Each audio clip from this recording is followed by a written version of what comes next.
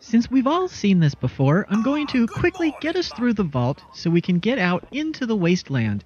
If you haven't seen the introduction, I'll leave a link to season 1 in the description and in the info button at the top right of the video. Any trouble, is he? Hey, I fixed that mobile on his crib the other day. Why don't you give it a spin? Followed by flashes, blinding flashes, sounds of explosions. We need to get to the vault.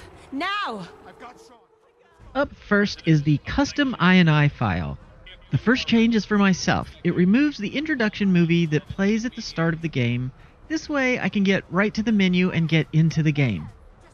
I have increased the grids from 5 to 7, which will allow us to see a bit farther with better detail. I'm a little worried about our frame rate once we get into the city, but if we run into problems, I'll course correct to fix that. We need to For the workshop, I've added an autosave, so if we get a crash while building, hopefully we won't lose much.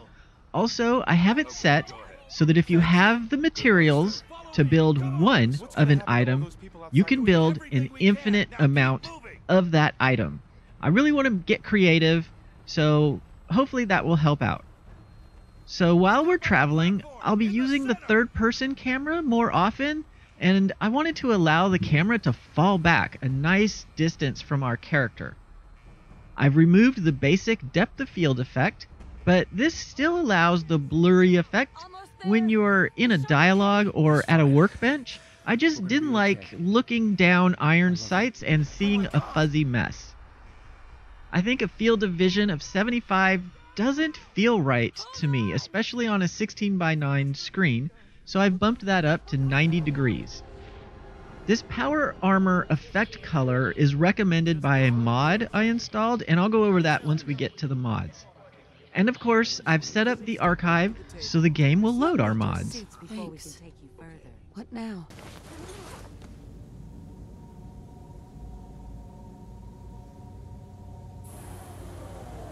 The pod will decontaminate and depressurize you before we head deeper in the vault. Just relax. Time for a whole new life.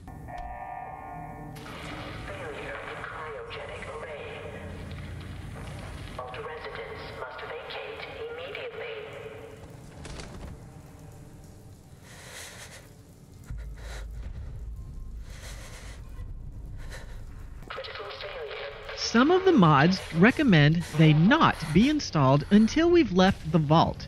I have decided to not install any mods at this point. I'm going to loot everything from Vault 111. Once we exit, we will get the game started in earnest with all the modding goodness installed. As we loot, however, I'll do a quick rundown of the mods I've selected for this season.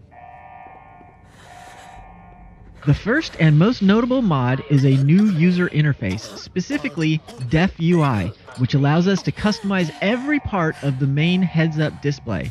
I went ahead and took the time to build my own HUD so it's as minimal as possible while still providing all the info we need. I've even added active effects and blended it to fit nicely with our new HUD. We now have the full dialogue interface so we can see exactly what our character will say instead of just a two word snippet.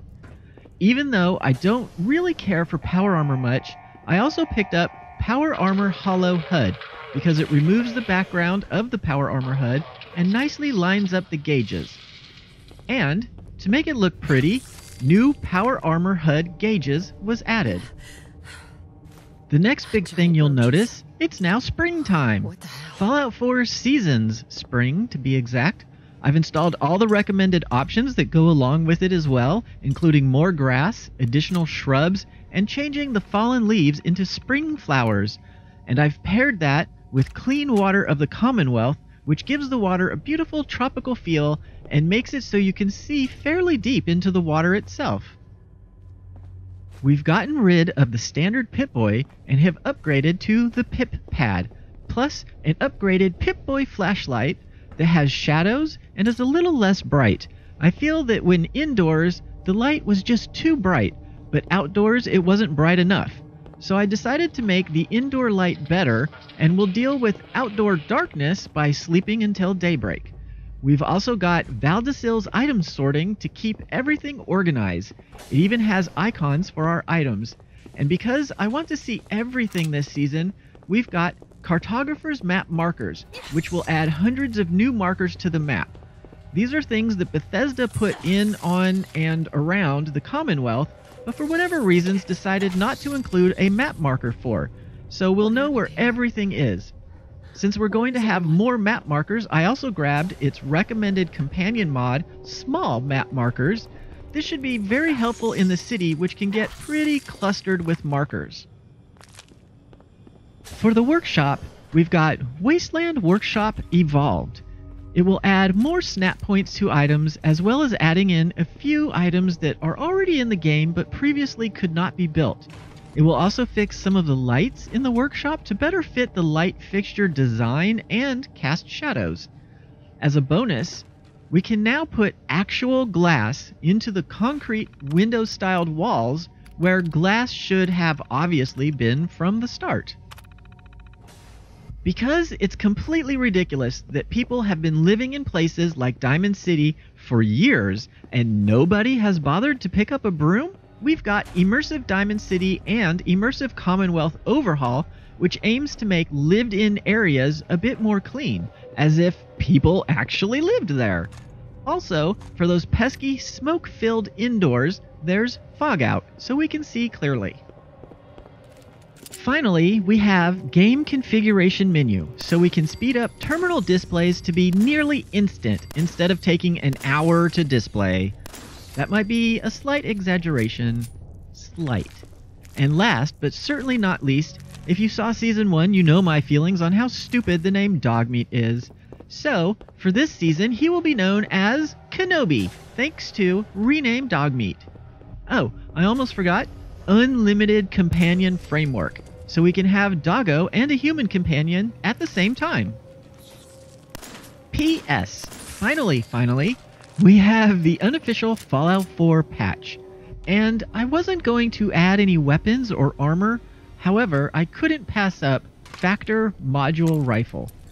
Also, also, don't get out your pitchforks. Even though not all the mod screenshots show it, I did go back to the Nexus while compiling the mod links and I endorsed all of the mods I'm using.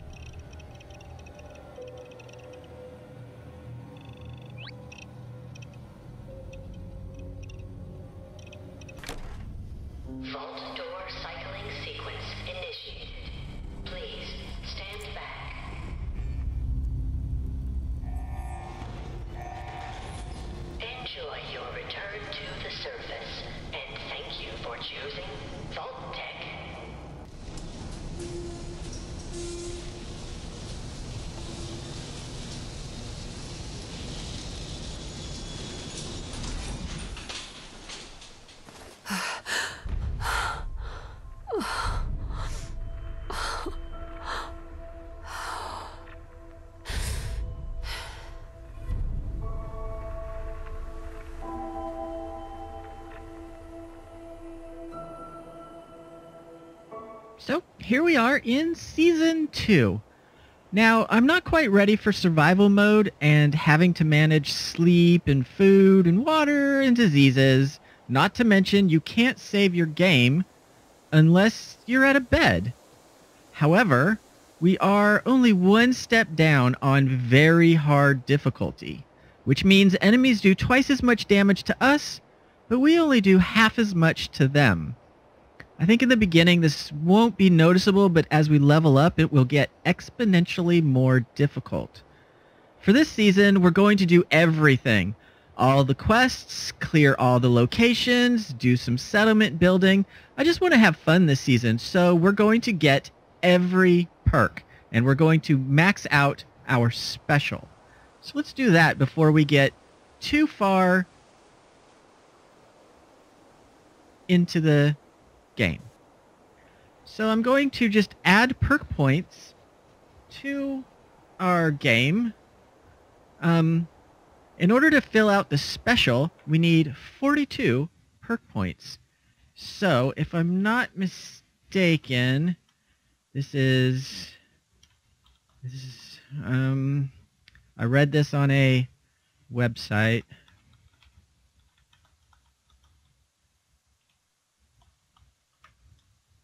Yes. So now we see our Pip Pad, which is very nice. And we are going to now max out all of this stuff.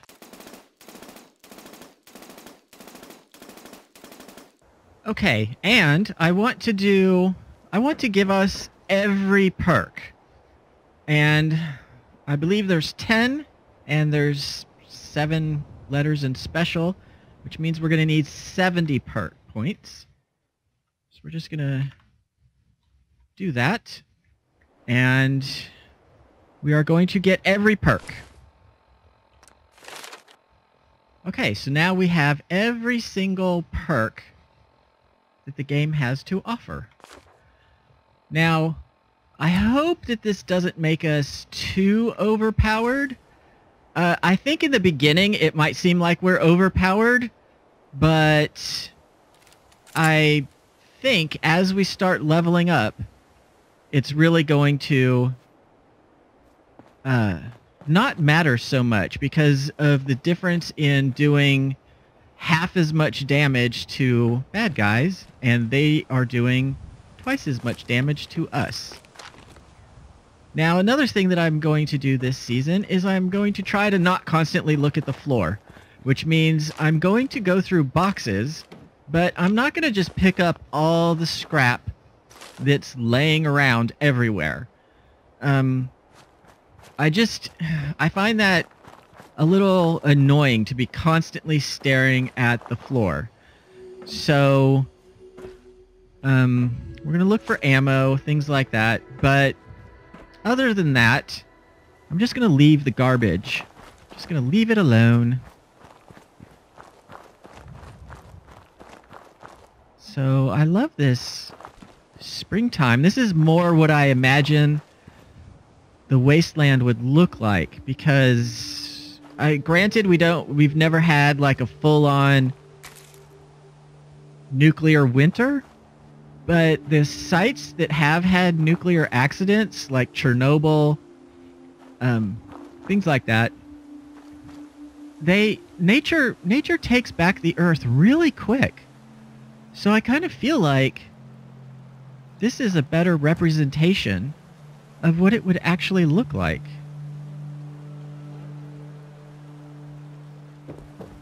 So, let's go talk to Codsworth and see what he is up to this time around.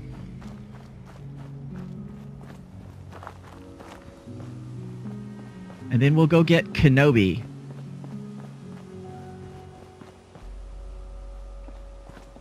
Talk to Codsworth. As I live and breathe. Oh, it's it's really you. It's really me. Codsworth, you're still here. So other people could still be alive too. Well, of course I'm still here. Surely you don't think a little radiation could deter the pride of General Atomics International? But you seem the worse for wear. Mm, Best not let the hubby see you in that state, huh? Where is Sir, by the way? Nice of you to bring that up. They killed him. Oh, Mum, these things you're saying, these terrible things, I, I believe you need a distraction. Yes, a distraction to calm this, this dire mood. It's been ages since we've had a proper family activity. Checkers, or, or perhaps charades. Oh, Sean does so love that game. is, is the lad uh, with you? Codsworth, listen to me carefully. Have you seen him? Have you seen Sean? Uh, why, uh, why, Sir had him last, remember? Perhaps he's gone to the Parker residence to arrange a play date. I'm sure he'll be back with him momentarily. He's gone. God damn it. Someone took him. They stole my baby. It's worse than I thought. hmm You're suffering from hunger-induced paranoia. Not eating properly for 200 years will do that, I'm afraid. Doesn't matter how long it's been. I feel fine. A bit over 210, actually, Mum. Give or take a little for the Earth's rotation and some minor dings to the old chronometer. That means you're uh, two centuries late for dinner. Perhaps I can whip you up a snack. You must be famished. Codsworth, you're acting a little weird. What's wrong? I. I. Uh, Mum, it's been just horrible. Two centuries with no one to talk to, no one to serve. Stop it. Get to the point. I'm afraid I don't know anything, Mum. The bombs came and all of you left in such a hurry. I thought for certain you and your family were were dead. I I did find this holotape. I believe Sir was going to present it to you as a as a surprise. But then, well, everything happened. That's all that's left. That's not all that's left, Mum. There's, there's still you. And me.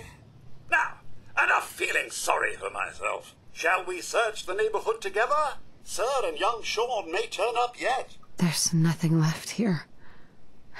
It's all gone. Well, if you wish to venture to parts unknown, I won't stop you. I shall guard the neighborhood in your absence. Oh, all right.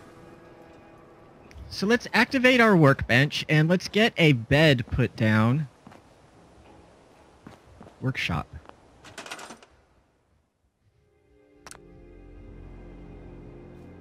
And let's uh let's just scrap a couple things here so we have some room. Put down a bed. I'm not gonna do I'm not gonna go crazy. I'm just gonna get a bed. Uh, we need some cloth. All right, we're gonna have to. We're gonna have to scrap a few things. Actually, let's do. Uh, I want to be able to just build. I don't want to have these kind of problems. So I created a batch file. Let's see if I can remember what I named it. There we go. So now we have plenty of everything, so we're not limited in our creativity. We can do what we please. Right here for now. We'll sort it all out later. Now then, let's go get Kenobi, our faithful companion. Now I'm pretty sure that the uh, that he's still going to be dog until we um actually until either Mama Murphy or Nick Valentine tells tells us that his name is Dogmeat. At which point it will switch to Kenobi. I'm pretty sure that's how that mod works. So let's go ahead and upgrade our pistol.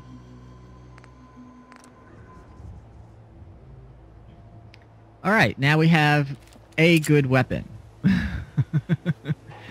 We're still going to be short on bullets, I believe, but that's okay.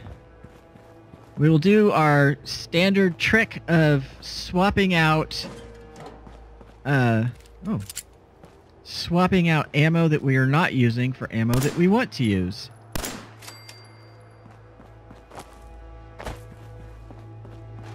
Oh. Ugh.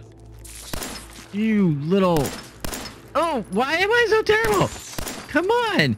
It's like the second bad thing that we came across. And I took radiation damage because of course I did. it's all right. Now, wait a minute. I remember. Yeah, I remembered you. I remembered you. I think there was, wasn't there one that came out from around here?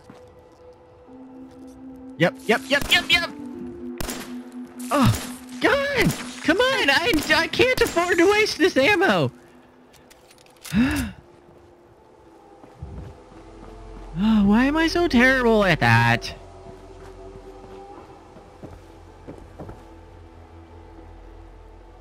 I really like this water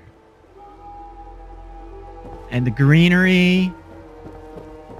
Springtime. It's nice. Let's see. Just trying to what what do I remember from the first playthrough? I remember that.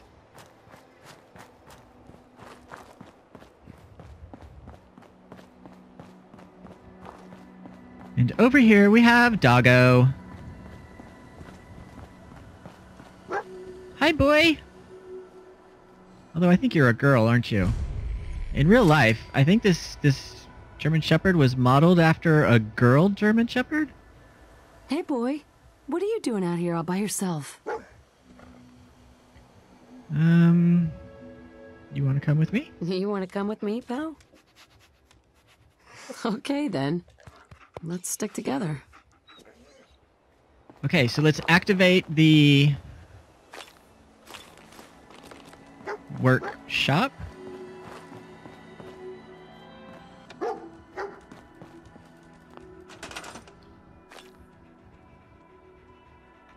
Nice. And yes, you are pointing at things. I know there are things everywhere. But I'm only I'm only looting the big stuff. Actually, cigarettes are those are a high value item for trade if I'm not mistaken. Oh, caps. Definitely take caps.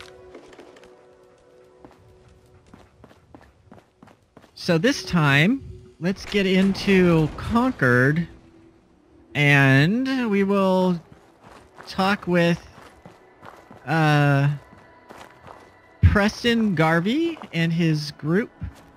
What is this on the compass? There's something right here on the compass. This must be one of the things that was added with that mod. I don't remember there being something. Oh, I do remember that we found this spot. Overlook. Still think it's weird that there's not a there's not a rifle up here because this is the perfect spot. Oh, what is mole rat? Did you see that? Mole rat popped up on the. Oh! Where's it at? Where's it at?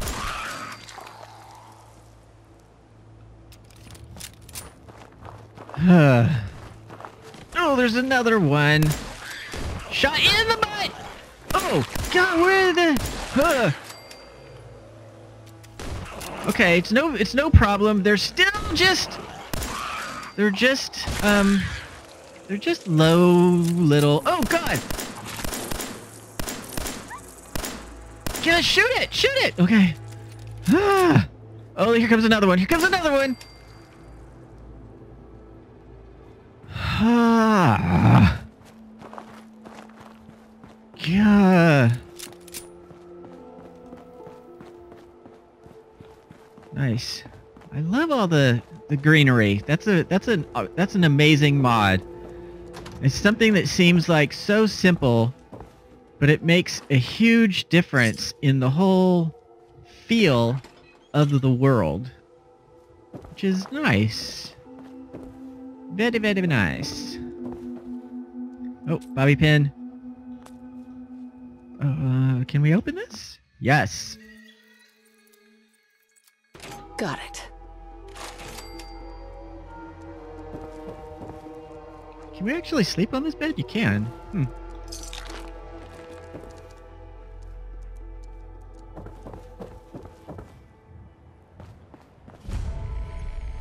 Concord. Now what's over here? Did we go over here before?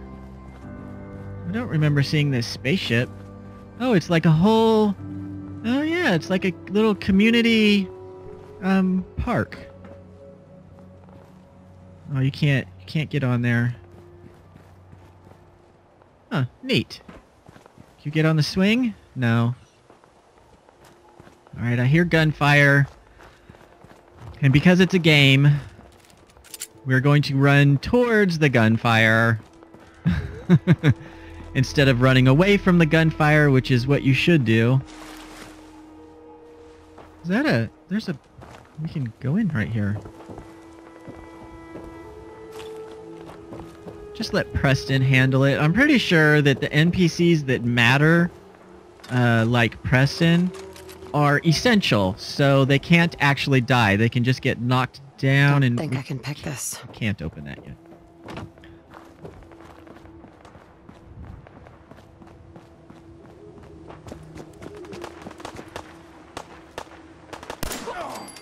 Don't you die on me! Oh god, I didn't even see that guy. Good doggo, good doggo. Kenobi, good Kenobi. We're gonna call him. He's gonna be Kenobi when it finally happens. Gotta get used to calling him Kenobi.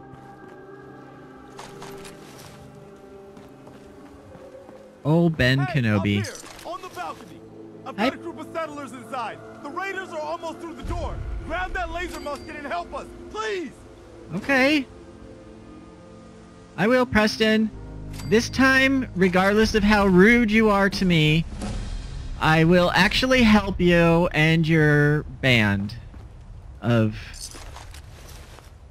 I don't know. I, I guess they're idiots because they're you, you've managed to kill most of your group, and yet they still follow you for some reason, uh, which I, I don't really understand.